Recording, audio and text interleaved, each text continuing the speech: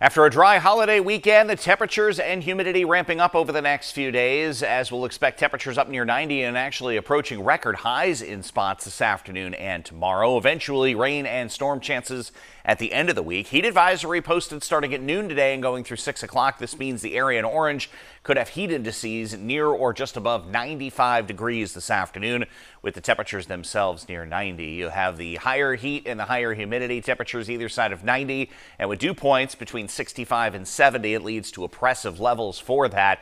You're going to want to limit your time outdoors, so take some breaks in air conditioning and stay hydrated as we go through the afternoon, kind of your typical uh, hotter summertime rules. You will notice a lot of tropical moisture lingering around offshore and an area of high pressure located back out through the Great Lakes. Kind of wedged in between is the air mass we have in place, which is highs today between 86 and 91, cooler at the shoreline with a sea breeze as we go through the afternoon. There's a look at Futurecast, which has temperatures tipping out either side of 90 in inland sections and in the mid 80s closer to the coastline before ultimately dropping into the 60s to lower 70s. Some more fog forms overnight tonight. And then tomorrow, similar readings and similar humidity levels with a similar sea breeze right at the coastline. That air mass remains in place into Thursday. There will be a system inching closer by Thursday afternoon, so there could be a late day storm.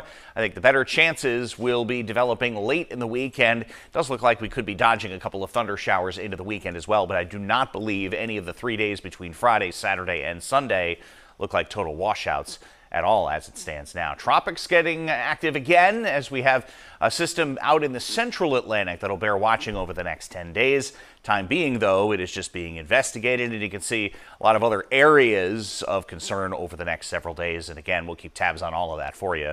Mid 80s to lower 90s with hazy, hot, humid weather and a sea breeze at the coastline. 60s to lower 70s tonight. Similar readings tomorrow, and then again on Thursday with a chance of a late day storm.